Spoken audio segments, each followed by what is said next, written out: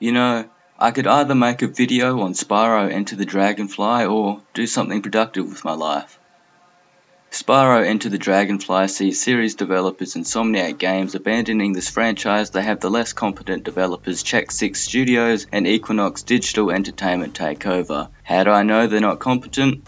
The game is featured on Wikipedia's worst games list. It doesn't take too much thinking to realise this one will be a stinker. Mind you, I haven't really played any previous Spyro games, so I'm not going to be like, well, I absolutely hated what they did with this character, although I shouldn't be making fun of people that do that, because that's me with my favourite franchises. One thing to note is that the developers were forced to rush this, so they may not be as incompetent as thought, but we'll never know since they both closed down after this game.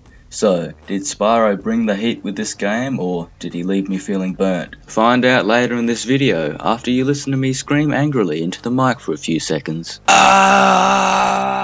The story starts with Ripto crashing the Grand Dragon Parade and casting a spell to capture the dragonflies that were meant to be assigned to the dragons, due to him hating dragons. Ripto's jaw moves like it was dislocated from someone punching it due to how stupid his plan is because his spell doesn't work, and the dragonflies are instead scattered around the world. He doesn't try to correct his mistake and just stays put in his final boss arena, as evident by a glitch that allows players to fight him 2 minutes after starting the game. Unbeknownst to me, Ripto was a dinosaur, not a dragon like I thought, and thinking this, I speculated that they were trying to go for a self-hatred internalized racism angle with the character.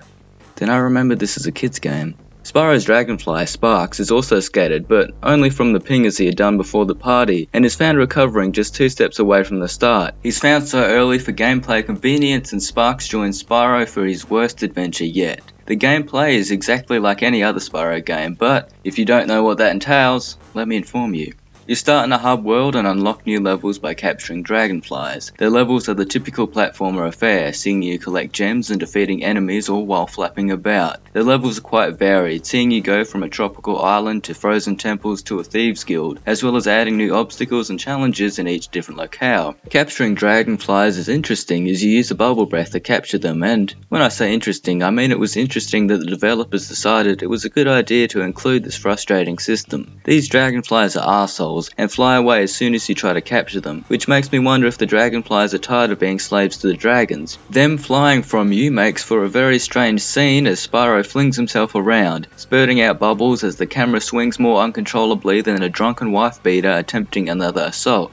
However, if you think about it too long, they don't make sense as a collectible, as they can easily fly from the level back home and there is no explanation if something else is keeping them there. Luckily, this is aimed towards children because I don't think I could take any other dragon seriously after they had bubbles escape their mouth. Every time you collect a dragonfly, you learn their name and they range from Jordan to Tashi Station. What I mean by that is they range from normal to weird, which is kinda like people's names these days.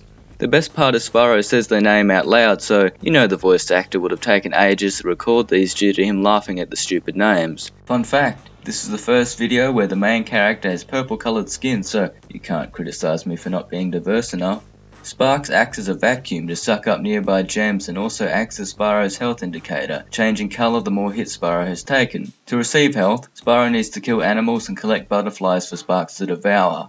He eats things twice his size in seconds, it's insane. Between Spyro's bubble breath and the fact that he can't fly very well, I'm starting to believe that Sparx is the one that poses a greater threat to Ripto. The yellow gems in-game can either be worth 10 or 25 gems, seeming like the rate for these gems fluctuates more than cryptocurrency. While I may rip on the bubble breath, the other elemental abilities Spyro gains add some creativity to the game as they are used to defeat various enemies and solve puzzles. With these varied abilities, the game encourages backtracking as areas within levels cannot be unlocked without later learnt skills. This is why the bubble breath stands out like a sore thumb, as its only use is to capture dragonflies and it doesn't have multi-purpose uses like the rest of the abilities. Getting skills requires the collection of a rune in a level and to present it to a dragon statue in the hub world. Due to how infrequent and early on these are, I wouldn't really call this a game mechanic. While I have been ripping the bubble breath a new arsehole better than the four men doing the quadruple anal penetration I watched just the other day, no power is as useless as the wing shield. Its purpose is to repel enemy projectiles and the one wizard enemy it works on isn't in the level you find it, rather a few levels down the line. Getting the projectile to return and hit the enemy is less accurate than me after a night out drinking, trying to urinate in my toilet. I forget to mention that, well, I didn't forget it,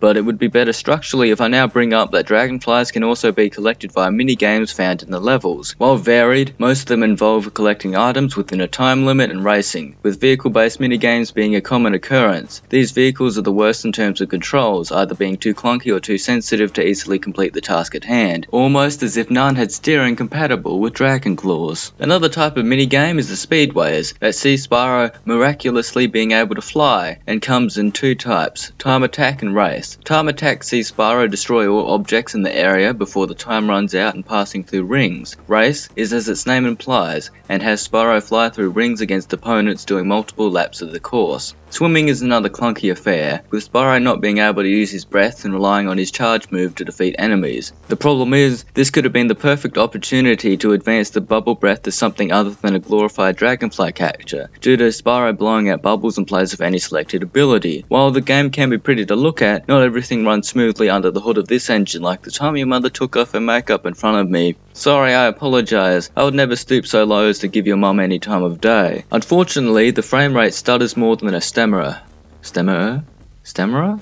Unfortunately, the frame rate stutters more than a person with a stammer performing a public speech. There, nailed it. Large portions of the area pop in unexpectedly like a virgin entering the wrong hole on accident due to poor loading, and loading takes so long there's a loading screen for the loading screen. Luckily I didn't make this video in the early 2010s, or I would have had to include an Inception joke right there. Most characters feel like they have ADHD due to them twitching around while staying in the same spot while talking to Spyro. It doesn't help that the lip syncing doesn't match up, making them look like a crackhead jittering their mouth around. Some explosives but don't have any matches. My mama always told me that I should never play with matches. Anyway, maybe you could help me with light? Although most of these characters are animals without lips, so would this be classified as bad mouth syncing then?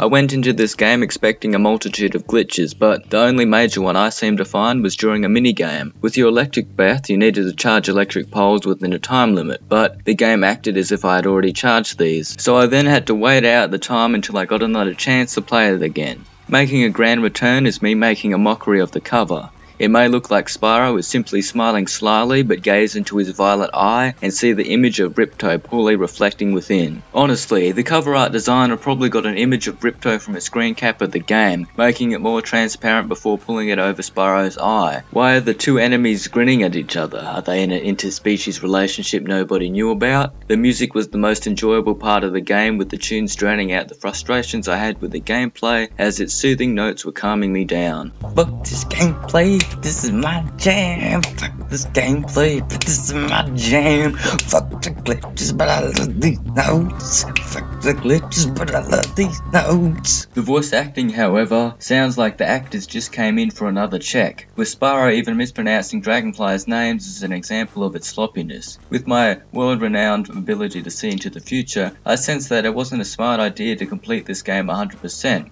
I looked up the reward for doing so, not that I had already known that from doing research on this game prior, and in the final cutscene, Spyro winks at you. What a pitiful prize! Spyro, you're more of a tease than a girl with a premium snap that doesn't get naked. Overall, the game was too easy and I didn't so much as die once. The final boss, being the only boss, is a pushover, with the game ending without you feeling like you accomplished too much. In fact, you use every power you learned against Ripto in the fight except the bubble breath and the wing shield further proving how useless both abilities are. As I played through this game, I began to warm up to it more and found I was dragging myself to play this game willingly more times than not. Sure, it had its problems, and I understand why people hate it, but compared to the other games I've looked at in this series, it barely scratches and sniffs the shit surface. Even with its short length, inconsistent frame rate and lengthy load times, I'd still consider this an average game with a few fun times to have. Maybe the game's shortness is why I enjoyed it more than I should have because it never overstayed its welcome and didn't run long enough to devolve into terrible territory. Mind you, not being a Spyro fan may skew my view on this, but hey, who's gonna put me to the sword on that? Here is the list, updated as per usual, but I'd hope that my more positive outlook on this game made it obvious that this would be the best so far. Leave a comment complimenting me on how well I did with making this video. I need my ego fueled. Well, that's what you get for playing with your little sticks.